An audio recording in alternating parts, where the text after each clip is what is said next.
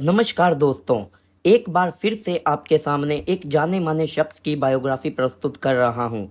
आज हम बात करने वाले हैं एक बहुत ही खूबसूरत, स्टाइलिस्ट और बेहतरीन अदाकारा की, जिन्होंने अपनी खूबसूरती से पूरे हिंदुस्तान को अपना दीवाना बना लिया था। इनकी कहानी बहुत ही रोमांचक है। इस एक्ट्रेस ने बी ग्रेड फ़िल्मों से अपने करियर की शुरुआत की, पर कुछ ही वक्त में ये हिंदी सिनेमा की हाईएस्ट पेड एक्ट्रेस में शामिल हो गई। इनकी एक्टिंग और खूबसूरती दोनों ही दर्शकों के बीच में काफ़ी चर्चित हुई। सत्तर और अस्सी के दशक में इन्होंने बहुत सारी सुपरहिट फ़िल्मों में काम किया। साथ ही हिंदी फ़िल्म जगत के कुछ बेहतरीन सॉन्ग्स जैसे कि शीशा हो या दिल आखिर टूट ही जाता है, इन पर ही फिल्माया गया है। आज की इस वीडियो में हम आपको किसी दौर में बॉलीवुड की टॉप हीरोइनों में शुमार रीना रॉय की ज़िंदगी की असली कहानी सुनाने जा रहे हैं। रीना ने भले ही एक से बढ़कर एक हिट फ़िल्मों के लिए काम किया हो, पर इनकी असल ज़िंदगी में जितने उतार चढ़ाव रहे हैं, उतना शायद ही किसी फ़िल्म की पटकथा में होंगे। इन्होंने अपनी प्रोफेशनल लाइफ में सफलता की ऊंचाइयों को देखने के साथ साथ निजी ज़िंदगी में कई कठिनाइयों को भी देखा। इनका सफ़र इनकी पर्सनैलिटी की तरह बड़ा ही दिलचस्प है। इसलिए दोस्तों, इस वीडियो को पूरा देखिएगा और जानिए बॉलीवुड अभिनेत्री रीना रॉय की ज़िंदगी से जुड़े अनसुने अनकहे पहलुओं को। हम आपको यहाँ उनकी ज़िंदगी में अफेयर्स ब्रेकअप और उनसे जुड़ी हर छोटी से छोटी और बड़ी से बड़ी जानकारी देने जा रहे हैं। आपसे गुजारिश है कि इस वीडियो को अंत तक ज़रूर देखिएगा, वरना कुछ ना कुछ मिस कर जाएँगे। रीना रॉय का वास्तविक नाम सायरा अली है। इनका जन्म 7 जनवरी उन्नीस सौ सत्तावन को मुंबई में हुआ था। रीना एक मुस्लिम पिता और हिंदू माँ की संतान है। शुरुआत में इन्होंने अपना नाम सायरा से बदलकर रूप रखा था, पर इनकी पहली फ़िल्म आने से पहले ही इन्होंने अपना नाम रीना रॉय रख लिया था।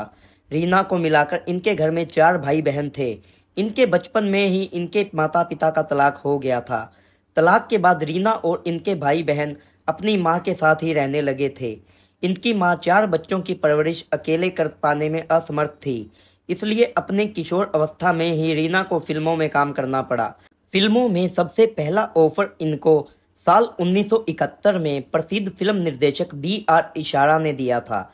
इशारा ने उन्हें नई दुनिया, नए लोग नाम की फ़िल्म में एक्टर डैनी के ओपोजिट साइन किया था। पर उस वक्त बात कुछ नहीं बनी। फ़िल्म कुछ दिनों के लिए रुक गई और बाद में इसे दो वर्षों के बाद रिलीज़ किया गया। इसी बीच निर्देशक बी आर इशारा ने अपनी एक और फ़िल्म ज़रूरत में रीना को कास्ट किया गया। दोस्तों, इस फ़िल्म में कुछ आपत्तिजनक दृश्य थे, जिनके चलते रीना शुरुआत में इस फ़िल्म को नहीं करना चाहती थी, पर बाद में इन्होंने फ़िल्म के लिए हामी भर दी। कभी कभी इंसान ना चाहते हुए भी मजबूरी में पैसों के लिए गलत काम को हाँ बोल देता है। ऐसा ही कुछ रीना के साथ हुआ था। फ़िल्म ज़रूरत भले ही बुक्स ऑफ़िस पर कुछ खास कमाल नहीं दिखा सकी, पर बोल्ड सीन के चलते रीना को दर्शकों ने ज़रूर नोटिस कर लिया था। ज़रूरत फ़िल्म के रिलीज़ होने के बाद रीना को कई ऑफर्स मिलने शुरू हो गए थे। उन्हें साल 1973 में चर्चा मिली फ़िल्म जैसे को तैसा से। इस फ़िल्म में भी वो बेहद ग्लैमरस और बोल्ड लग रही थी। खासतौर पर फ़िल्म जैसे को तैसा का गाना अब के सावन में जी डरे काफ़ी मशहूर हुआ था। इस गाने को रीना और जितेंद्र के साथ भारी बारिश में फिल्माया गया था। फ़िल्म जैसे को तैसा के बॉक्स ऑफ़िस पर हिट रहने के बाद रीमा की झोली में एक से बढ़कर एक फ़िल्मों के ऑफ़र आने शुरू हो गए। पर उनको सबसे बड़ी सफलता तब मिली जब उन्होंने उन्नीस सौ छिहत्तर में फ़िल्म नागिन में काम किया। बतौर नागिन रीना बेहद खूबसूरत लग रही थी और साथ ही उनका अभिनय भी बहुत शानदार था। इस फ़िल्म के बाद रीना इंडस्ट्री की टॉप एक्ट्रेस में शामिल हो चुकी थी। अभिनेता जितेंद्र के साथ उनकी जोड़ी को काफ़ी पसंद किया जा रहा था। तभी रीना के जीवन में एक टर्निंग पॉइंट आया। दरअसल उस समय निर्देशक सुभाष घई, कालीचरण नाम की एक फ़िल्म बनाने जा रहे थे। सुभाष घई ने अपनी फ़िल्म में अपने दोस्त शत्रुघ्न सिन्हा को कास्ट करके यह फ़िल्म बनाने की सोची। फ़िल्म में शत्रुघ्न के ओपोजिट रीना रॉय को लिया गया। इस फ़िल्म की शूटिंग के दौरान रीना और शत्रुघ्न सिन्हा एक दूसरे के काफ़ी करीब आ गए। शूटिंग के दौरान दोनों एक दूसरे के साथ काफ़ी समय बिताते थे, जिस वजह से सुभाष घई को इस फ़िल्म को पूरा करने में काफ़ी दिक्कतों का सामना करना पड़ा। इसके बाद तो सुभाष घई ने कसम खा ली कि वो रीना और शत्रुघ्न के साथ कभी काम नहीं करेंगे। कालीचरण एक ब्लॉकबस्टर मूवी रही थी। रीना और शत्रुघ्न की जोड़ी को लोगों ने काफ़ी पसंद किया और साथ ही साथ रीना को अभिनेता जितेंद्र के साथ भी काफ़ी पसंद किया जा रहा था। रीना और जितेंद्र ने 22 फ़िल्मों की, जिसमें 12 फ़िल्में सुपरहिट रहीं। शत्रुघ्न के साथ भी इन्होंने 16 फ़िल्में की, जिसमें 12 फ़िल्मों ने बॉक्स ऑफ़िस पर धमाल मचा दिया था। अब वो एक के बाद एक जितेंद्र और शत्रुघ्न सिन्हा के साथ फ़िल्मों में काम कर रही थी। उनकी हिट फ़िल्मों ने उन्हें हाईएस्ट पेड एक्ट्रेस की श्रेणी में शामिल कर दिया। ये वो वक्त था जब रीना का करियर और प्रेम कहानी दोनों ही अपनी ऊंचाइयों पर चल रहे थे।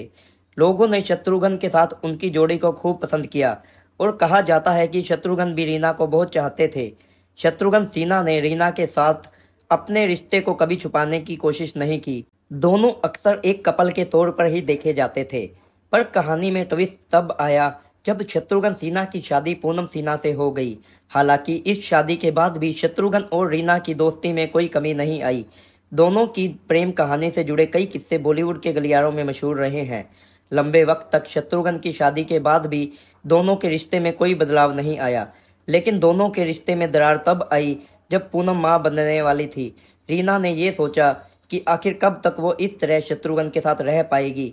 वो शत्रुघ्न से शादी करना चाहती थी, पर इस बात के लिए शत्रुघ्न कभी राज़ी नहीं हुए। शत्रुघ्न रीना को खामोश कर देते थे। फिर एक दिन ऐसा आया, जब रीना को शत्रुघ्न से रिश्ता तोड़ना पड़ा।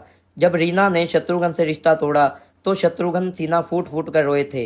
रीना और शत्रुघ्न सिन्हा की प्रेम कहानी को आज भी बॉलीवुड में सबसे बड़ी लव स्टोरी माना जाता है। अगर हम इनको बॉलीवुड करियर पर नज़र डालें तो इन्होंने संग्राम, बारूद, अपनापन, आशा, जानी दुश्मन, बेरहम, अंधा कानून, सनम तेरी कसम, राज तिलक, गुलामी, नसीब, उमर और जख्मी जैसी कई सुपरहिट फ़िल्मों में काम किया। इनकी आखिरी फ़िल्म थी के पी दत्ता की फ़िल्म रिफ्यूजी, जो कि साल 2000 में रिलीज़ हुई थी। दोस्तों, अब रुक करते हैं रीना की पर्सनल लाइफ की ओर। इनका जन्म फ़िल्मों में जूनियर आर्टिस्ट के तौर पर काम करने वाले काली और उनकी पत्नी शारदा रॉय के घर हुआ था। पर रीना के बचपन में ही काली और शारदा का डिवोर्स हो गया था। इस डिवोर्स के बाद शारदा अपने चारों बच्चों के साथ अलग हो गई थी और इनके बच्चों ने भी कभी अपने नाम के पीछे पिता का सरनेम नहीं लगाया। रीना की दो बहनें और एक भाई है। इनकी बहनों का नाम बरखा और अंजू है और इनके भाई का नाम राजा रॉय है। शत्रुघ्न सिन्हा से अपने रिश्ते को तोड़ने के बाद रीना ने 1983 में पाकिस्तानी क्रिकेटर और अभिनेता मोहसिन खान से शादी कर ली। शादी के बाद रीना ज़्यादातर लंदन में रहती थी।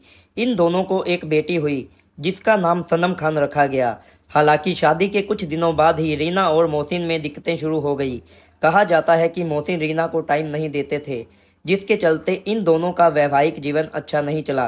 रीना ने इस शादी को निभाने की पूरी कोशिशें की, पर जब पानी सर के ऊपर से चला गया, तब रीना ने मोहसिन से तलाक ले लिया। तलाक के बाद रीना भारत वापस आ गई। हालाँकि तब इनकी बेटी की कस्टडी मोहसिन को मिली थी, इसलिए रीना को भारत अकेले आना पड़ा। पर बाद में शत्रुघ्न सिन्हा की मदद से रीना अपनी बेटी की कस्टडी वापस लेने में कामयाब हुई। भारत वापस आकर रीना ने फ़िल्मों में कम करने की सोची, पर वो सफलता उन्हें नहीं मिल पाई, जैसी उन्हें अपने करियर के शुरुआती दिनों में मिली थी।